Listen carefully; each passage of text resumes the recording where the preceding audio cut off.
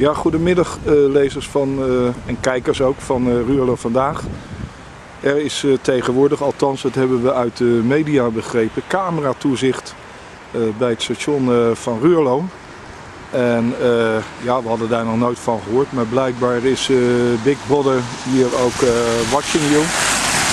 En ehm, nou is ons gevraagd om twee of drie keer per dag ja, in de zin van de burgerzin uh, ook toezicht te houden hier op het station. En dan laten we onze camera even draaien terwijl de collega-camera's ook 24 uur per dag meedraaien. eens even kijken, ik geloof dat daar een, ja, daar staat een collega-camera.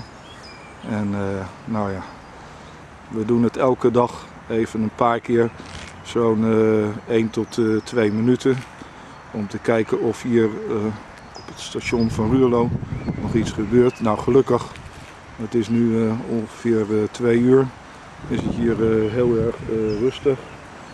de fietsenstalling staat er goed bij en een beetje regenachtig weer, maar misschien drukt dat het aantal passagiers. Kijk, zeer volle fietsenstalling. Nou, het ziet er allemaal goed uit. De nieuwe Park and Ride parkeerplaats. Alle auto's staan er eh, keurig bij. En uh, ja, er is niets op aan te merken. Ze staan in de vakken. En u heeft misschien wel gezien op onze site dat er een, een nieuw vak is. Dat je dus 30 minuten de tijd hebt om al uh, kussend afscheid te nemen. En uh, ja, of er veel gebruik van wordt gemaakt, dat weten we nog niet. Maar in alles is hier uh, voorzien.